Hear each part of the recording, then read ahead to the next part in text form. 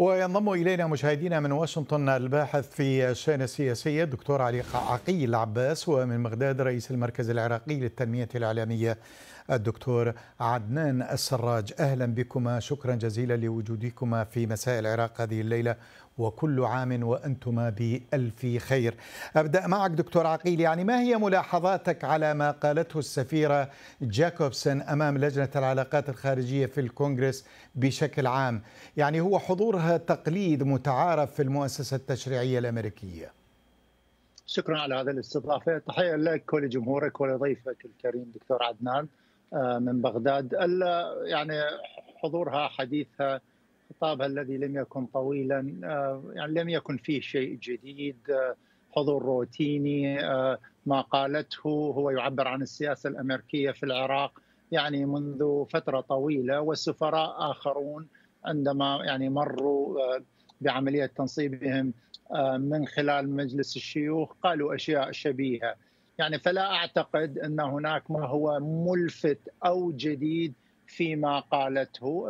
ربما الجديد مرتبط بشخصيتها إذا استطاعت إنفاذ هذه السياسات، السفراء ينفذون سياسات لا يكتبونها وتأثيرهم قليل على السياسات، والسياسة الأمريكية بخصوص العراق يعني تقريبا شبه ثابتة على مدى العقد الماضي. أنتقل إلى بغداد أيضا للدكتور عدنان، دكتور عدنان يعني نفس السؤال كيف تقرأ آراء السفيرة الأمريكية المرشحة للعمل في العراق خلفا للسفيرة رومانوسكي.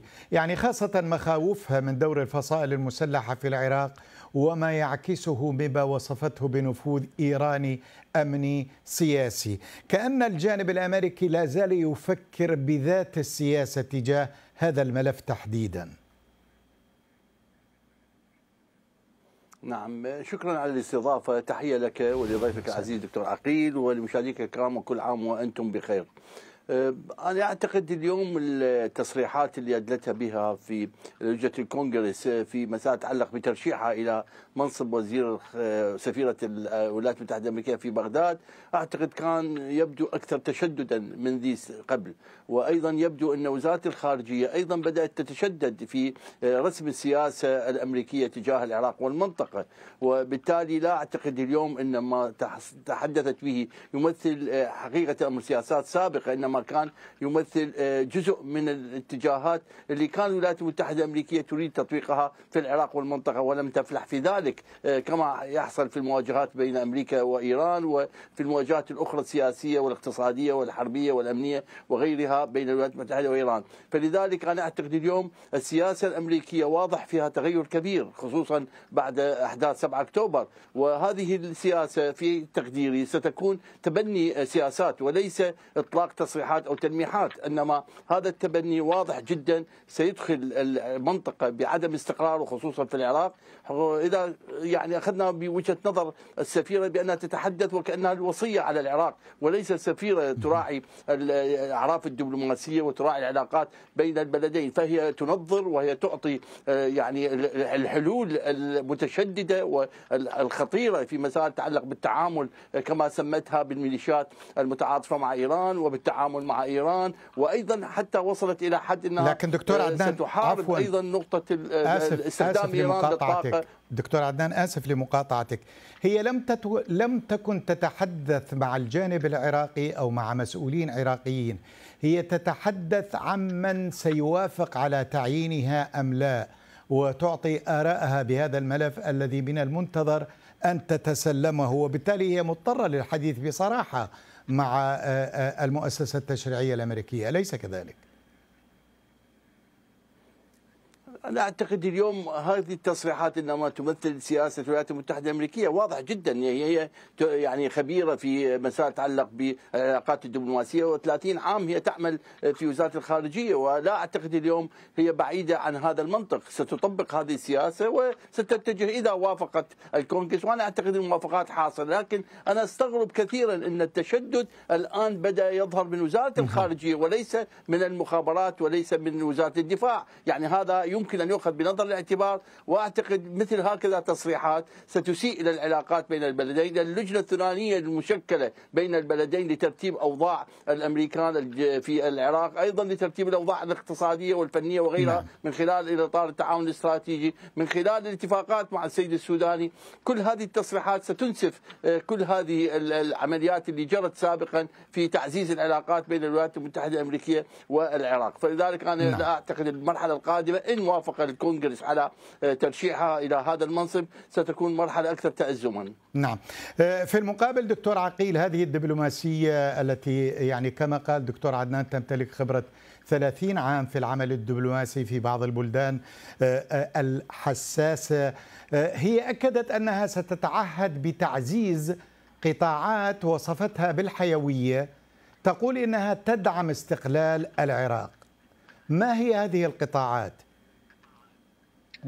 يعني دعني أوضح شيئا واحدا أستاذ محمد. اولا العلاقات العراقية الأمريكية يحكمها إطاران.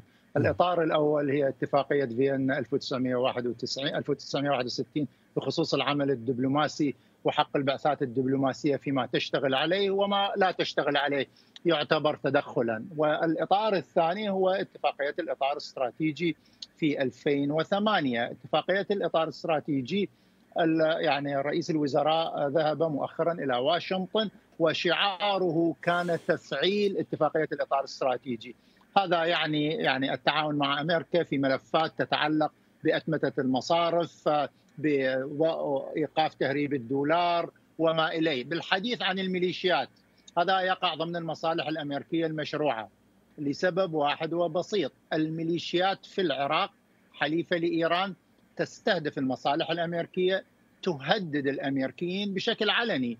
حصلت عمليات خطف لأمريكيين اغتيال لأمريكيين تهديدات علنية باستهداف الأمريكيين في داخل العراق وفي خارج العراق. فهذا يقع ضمن يعني السياسة الأمريكية المشروعة. إذا العراق يريد علاقات مستقرة ونافعة وحقيقية وعميقة مع الولايات المتحدة يحتاج أن يتعاطى مع تحدي الميليشيات والحكومات العراقية المتعاقبة فشلت في هذا الأمر. وبالتالي من غير المعقول أن نطلب من الولايات المتحدة انها هي أيضا نفسها تنكر وجود هذا التحدي وتتجاهله وتتناساه كما تفعل معظم الطبقة السياسية العراقية. وتتحدث عن سيادة هي عمليا غير موجودة، موجودة على الورق وليس على الأرض، وبالمناسبة المنهاج الحكومي للحكومات العراقية المتتابعة أشار بشكل واضح إلى أهمية حصر السلاح بيد الدولة واحتكار الدولة للعنف وما إليه، يعني هذا دليل واضح على أنه السيادة العراقية غير مكتملة. ليس بسبب الولايات المتحدة وإنما بسبب الفصائل المسلحة وبسبب وجود نفوذ إيراني غير مشروع في العراق، لإيران مصالح مشروعة في العراق، ينبغي التعاطي معها على هذا الأساس. لكن هناك مصالح غير مشروعة بمعنى أننا بإزاء دولة إيرانية ترعى فصائل مسلحة في العراق وهذه معروفة ومعلنة يعني نعم. حتى لا يحتاج الأمر مه. نقاش بخصوصها رئيس يعني رئيس أركان الحشد الشعبي السيد عبد العزيز المحمداوي يعني صرح قال يعني ما معناه إنه نحن إذا يأمرنا الولي الفقيه نفعل طيب وهو عسكري عراقي رفيع المستوى الدولة العراقية تدفع راتبه. هو جزء من القوات المسلحة العراقية وغيرها وغيرها. يعني ليس من الصحيح إنكار ما هو واضح والاختباء وراء الكلمات. نعم. آه، دكتور عدنان آه، يعني إذا كان عندك تعليق سأسمع بالتأكيد. لكن المرشحة أيضا لخلافة رومانوسكي شددت في جانب من كلامها على أهمية تعزيز الشركة الثنائية بين البلدين وتعزيز الاتفاقيات وما إلى ذلك. كيف تعلق؟ نعم يعني إذا بدأنا من الجانب الثاني لسؤالك فهي يعني تعاون مشترك لكن مشروط. ومشروط بالهيمنة أي بمعنى بين قوسين الولايات المتحدة الأمريكية هي التي تريد أن تحدد العلاقات بين البلدين حتى بعنوانها الاقتصادي والمصرفي وغيرها. يعني تتكلم عن استغلال إيران للطاقة لتزويد العراق بالطاقة فتقول يجب أن نمنع هذا الاستغلال آه، للطاقة بالنسبة لإيران. أي استغلال تتكلم عنه والعراق في حاجة ماسة إلى أسعار رخيصة من دولة صديقة وقريبة على العراق. وبالتالي مثل هكذا شروط في علاقات بين الدولتين غير موجود لا في الأعراف الدبلوماسية ولا في العلاقات الدولية بين الطرفين. أما بالنسبة للتعليق على الصديق الأخ عقيل دكتور عقيل أعتقد أن كل ما تتكلم عنه أمريكا بالنسبة للميليشيات وغيرها هذا شأن عراقي بحت. لا يمكن لأي دولة في العالم أن تحدد علاقاتها بدول الجوار بالذات وبدولة مثل إيران كبيرة وتعتز بعلاقات كبيرة مع العراق أن تتدخل دولة أخرى وتشبه الدولة بالدولة الخبيثة. هذا يعني أنها تريد حربا جديدة كما فعلتها مع صدام حسين إنبان الحرب ثمان سنوات ودفع العراق ثمنا غاليا وعزيزا على أبنائه وأبناء وعلى ثرواته فلذلك أنا أعتقد اليوم هذه المسائل يجب أن ننظر نظر الاعتبار العراق هو حر في علاقاته. من يريد أن يكون ضمن برنامج سياسي فلدينا حكومة ولدينا برلمان ولدينا سيادة. مهما كانت هذه السيادة مخرومة لكننا لدينا دستور وقانون والتزامات أخرى. وإلا فوضى. إذا كان السيد عقيل يتكلم بهذا العنوان فبمعنى في العراق فوضى. وبالتالي لا أقول أن في العراق فوضى. نعم هناك دولة يمكن أن تقول فاشلة يعني لم تقم بخدمات لم تقم بعمل. نعم أنا أتفق. قد تكون تجربة ديمقراطية فيها حاجة إلى ترشيد العلاقات. نعم نعم. واضح ولكننا لا زلنا نقول نحن دولة لديها دستور وقانون وبالتالي حرة في أن تتعامل مع الميليشيات تتعامل مع إيران تتعامل مع أي ولا يفرض عليها رأي. هذا التصريحات أنا في تقديري. خطيرة جدا وبالتالي لديها آه، كل المؤشرات لأنه واضح. أمريكا خسرت حربها في العراق وانسحبت. وبالتالي لا نريد أن تفتح جبهة جديدة في العراق. وبالتالي أعتقد لا تستطيع أن تحقق شيئا كما حصل إنبان احتلالها العراق. نعم. آه، دكتور عقيل قبل أن أودعكم حول هز رأسك المخالف لما ورد في كلام الدكتور عدنان خلال حديثه. نعم. حوله إلى كلمات وإلى جمل يعني حتى نفهم.